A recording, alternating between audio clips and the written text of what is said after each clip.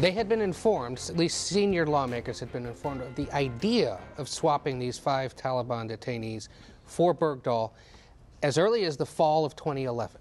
There had been a briefing uh, for, for members of the House and members of the Senate around that time. Caused so much concern that they were firing off classified letters to the administration asking for more questions that by the end of January 2012, they had to hold another briefing to discuss this.